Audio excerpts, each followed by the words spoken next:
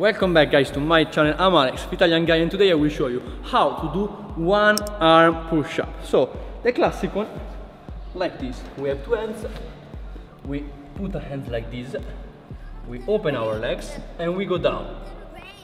We touch and we come back. This is the one arm push-up. Let's start with the basics, like uh, what train to grab our chest, our arms uh, and our body for be able to do something like that. For do the one arm push-up, we need at least 20 classic push-ups. So this one, need to have at least uh, one, two, three, four, five, six, 20 of this one. And a good condition of our shoulders. So for sit, uh, try to do maybe something like this. If your shoulder hurts, you need to before fix your shoulder because in this movement your shoulder will be involved a lot with your triceps and with your chest. Speaking about triceps, for do this movement you need to develop at least five of these one. Put your hands like this. One, two, three, four, and five. And like this too. One, two, three, four, and five.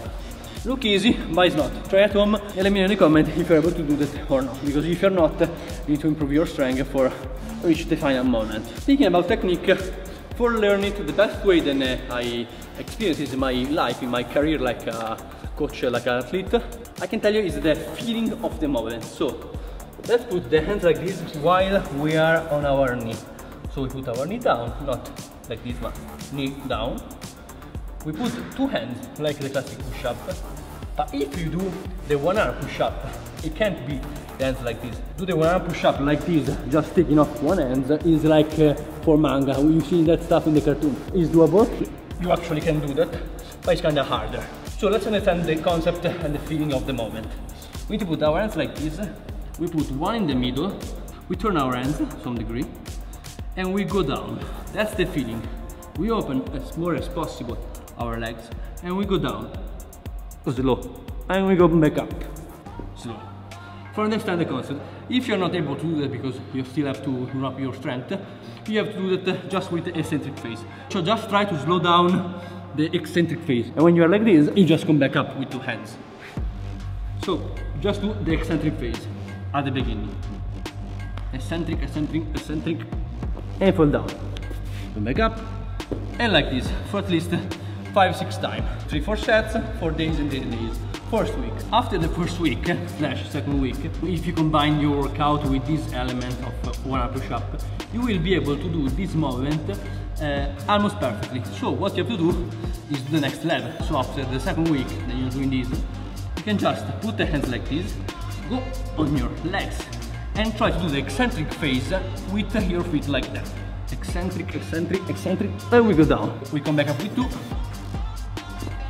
eccentric, eccentric, eccentric, and we go back down.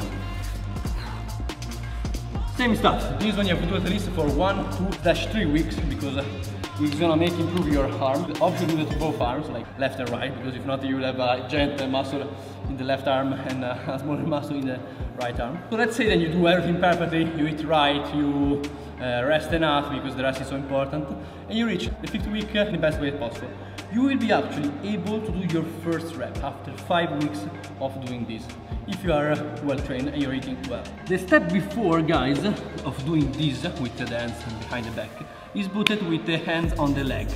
If we put the hands on the leg it will be easier. You may do with the arm on the leg one, two, three, four reps Aimon, so each means you do one rep. You do this for the sixth week, but rest enough because it's so important to rest for grow up and let our muscles develop. And after that, the seventh week, you will be able for sure to do this, this classic one arm push-up.